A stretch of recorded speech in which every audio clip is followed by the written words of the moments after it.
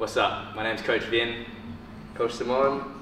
We're from Honour Martial Arts and we're going to go through a few different variations of the lead teep and a few tips on how to maximize your balance, power and accuracy with it. Okay? So to shape up with your partner, the first thing you have to do is ensure that your timing stance and your posture is tuned or prepared to be able to stand onto one leg. Generally, the stance that allows this is you have your legs a little bit closer together compared to if you're, let's say, more of a boxing style fighter, you'd be wider here, yeah? So if you like to throw your teeps, you go a little bit closer so that when it is time to throw your push kick, in this case against a stationary opponent, we can have a very subtle half step to put our stance leg under our head and stacks our center of mass into one, one point, okay? So I go from here, nice tall position, I go half step, bring that knee high, and then it's like a chain reaction. So we go knee high, and then I'm gonna throw my hip forward, swing my arm, and eyes on target.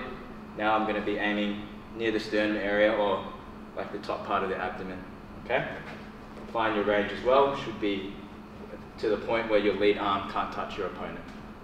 So here, I've got my rhythm, half step, knee high, teep, and then back down, reset. Common mistake you want to avoid is you throw your teep, ball, you feel really excited to get your target, and then you just give up and fall down. What's the danger here? Off balance, you get square, hard to block kicks. Yeah. Yeah.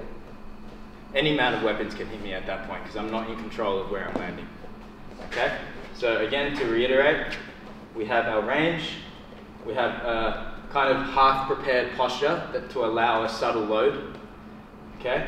And then we throw our hips into the target, we reset. Okay, that's against this stationary opponent or even a retreating opponent. I can just move my stance a little bit more forwards to follow his back step. Okay, here, whoa, like that. But the, the tying principle is I have to optimize my range and my balance before I throw my strike. If I have an advancing opponent, that principle is the same, but I'm moving my stance leg to match his advancing step so that I'm not cramped. A lot of people will see their opponent come in and they just lift up straight away and now they're doing this? Then you end up moving yourself back, okay? So if I've got my range properly, all I need to do is match it slightly, lift, teep, and then get my position back, okay? One last variation is if there's a lot of space already, so we're both kind of out of the fight, but I want to re-engage the fight using my lead teep. What I can do is a lead jumping teep with a slight drag back here, okay? So in this case, I'm stacking all my joints, so my head, my spine is on top of my stance leg, slightly bending, and then moving that entire stack with my jump. By the time I land that jump, my teep will be landing on the target. So we're here, we're both out of the fight.